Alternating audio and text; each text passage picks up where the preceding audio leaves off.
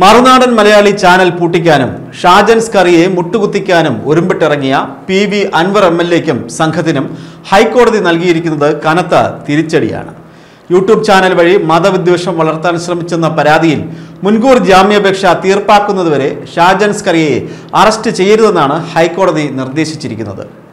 Supreme കോടതി ഉത്തരവിന് ശേഷവും തനിക്കെതിരെ സംസ്ഥാനത്ത് നൂറ്റിയേഴ് കേസുകൾ എടുത്തു എന്നും തന്നെ കൊടുക്കാൻ ശ്രമിക്കുകയാണെന്നും ഷാജൻസ് സ്കറിയ കോടതിയെ അറിയിച്ചിരുന്നു.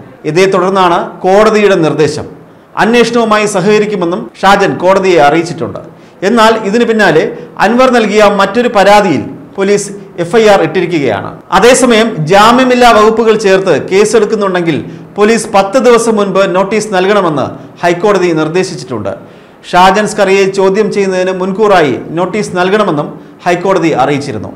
തനിക്കെതിരെ പോലീസ് അകാരണമായി കേസ് രജിസ്റ്റർ ചെയ്യുന്നുവെന്നും നോട്ടീസ് നൽകാതെ അറസ്റ്റിലേക്ക് കടക്കുന്നുവെന്നും ചൂണ്ടിക്കാട്ടി ഷാജി നൽകിയ ഹർജിയിലാണ് ഹൈക്കോടതിയുടെ ഇടക്കാല ഉത്തരവ് വന്നിരിക്കുന്നത്. പോലീസിനോട് എതിർ സത്യവാങ്മൂലം നൽകാനും ജസ്റ്റിസ് പി വി കുഞ്ഞികൃഷ്ണൻ സമയം അനുവദിച്ചു.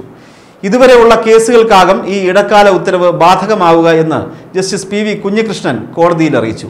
തുടർന്ന് രജിസ്റ്റർ ചെയ്യുന്ന കേസുകൾ അപ്പോൾ പരിശോധിക്കാമെന്ന് കോടതി വ്യക്തമാക്കിയിരുന്നു.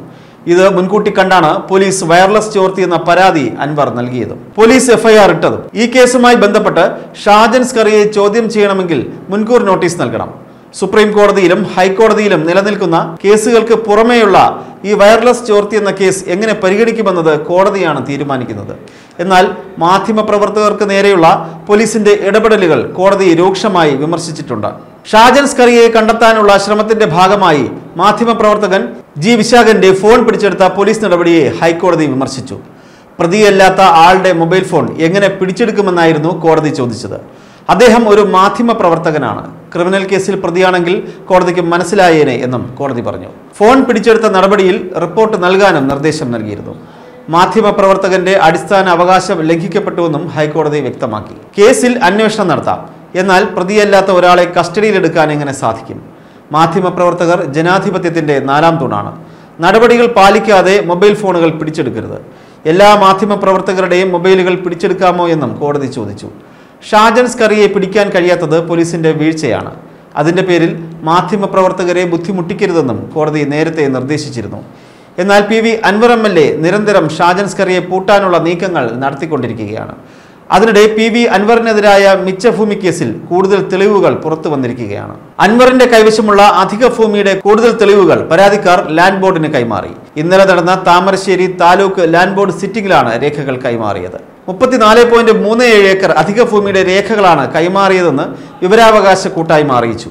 ഇതോടെ പരാതിക്കാർ ഇതുവരെ ലാൻഡ് ബോർഡിന് കൈമാറിയത് നാൽപ്പത്തി ആറ് പോയിന്റ് എട്ട് മൂന്ന് ഏക്കർ ഭൂമിയുടെ രേഖകളാണ്.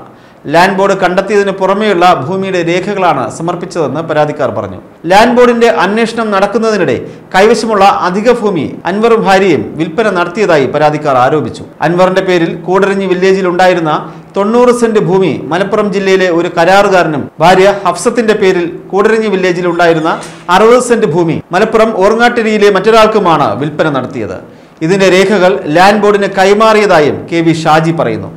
ഷാജൻ സ്കറിയുടെ തെറ്റുകൾ ചൂണ്ടിക്കാട്ടുന്ന P V Anvar M L A മിച്ചഭൂമി കയ്യേറിയ കേസിൽ പ്രതിയാണ്. ഒരു തെറ്റുകാരൻ മറ്റൊരാൾ ചെയ്യുന്നത് തെറ്റാണെന്ന് പറയുമ്പോൾ അതിലെ ധാർമ്മികത ചോദ്യം ചെയ്യപ്പെടുന്നുണ്ട്. നിങ്ങളിൽ തെറ്റ് കാണാത്തവർ എന്നെ കല്ലെറിയട്ടെ എന്ന് പറയുന്നത് പോലെയാണ് കാര്യങ്ങൾ നീങ്ങുന്നത്.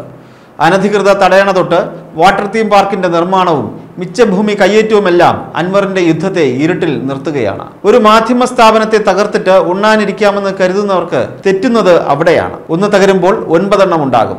ആ ഒമ്പതെണ്ണത്തിലും അഴിമതികളുടെ കഥകൾ പുറംലോകം അറിയുക തന്നെ ചെയ്യും.